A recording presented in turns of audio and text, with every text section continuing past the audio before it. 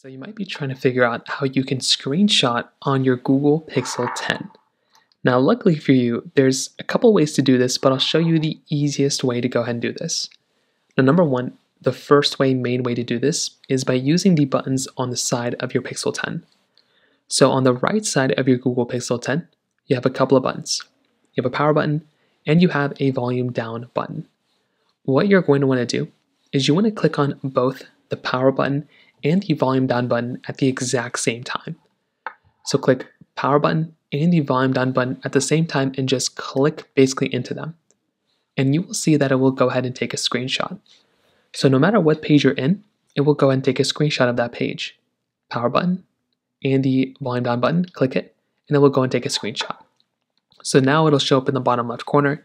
You can tap on the image right there if you want to go ahead and just open it up and view the image. You can also go through and open up the Photos app, and you can also view the Photos app this way as well. And you'll be able to see the photos in this way. So, there's a couple different ways to do it, but that's essentially how it's done. If you have any other thoughts or questions, please let me know in the comment section below. Hit the like button, that will mean so much, but definitely hit that subscribe button. More importantly than everything else, I love every single one of you guys. Hopefully I'll catch you guys in the next video. Peace out, Solon.